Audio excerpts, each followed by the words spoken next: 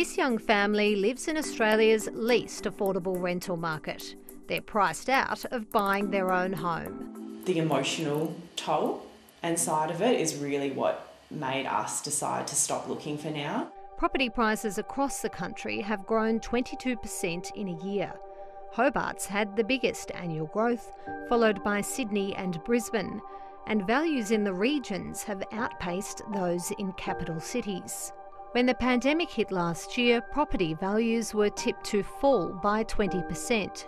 Instead, annual appreciation in housing values that we've seen is the highest 12 uh, month growth rate since 1989, and rental values have also grown uh, since their highest levels um, since the early 2000s, so sitting about 9% higher.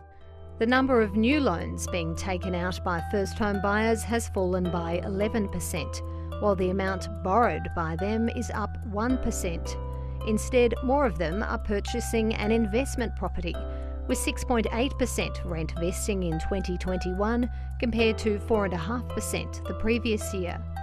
Overall, the value of investor mortgages rose 83%.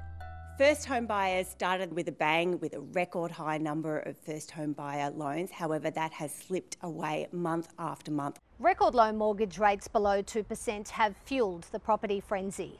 But the cheap money is coming to an end. The RBA has signalled it could lift the cash rate as early as 2023. Banks have already started hiking fixed rates while cutting variable rates to attract new customers. Banks are focused on gradually nudging up rates, and so borrowers need to be prepared to pay more.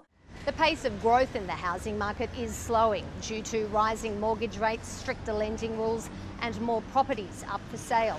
But the big banks are still tipping price rises of between 6 and 8% in 2022 before values drop in 2023.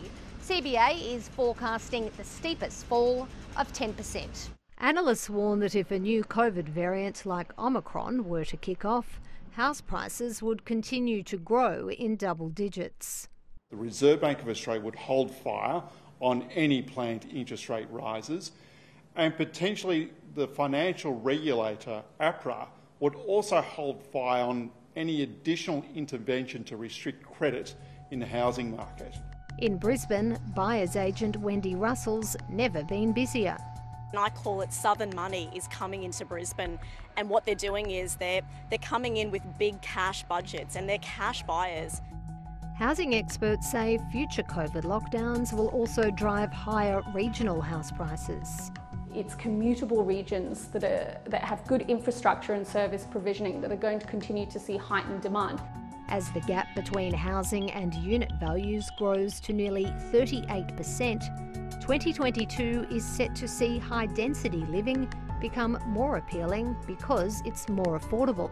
We are seeing people, on average, uh, being able to borrow about 5% less than they would have, say, two months ago. Wow, 900,000 for Mountain Heath. After spending months watching house prices soar, this couple decided to buy a two bedroom flat in Melbourne. Probably that three to five year stepping stone um, before we then look to what's that next step with the ultimate goal to get a house. Getting into the market any way they can.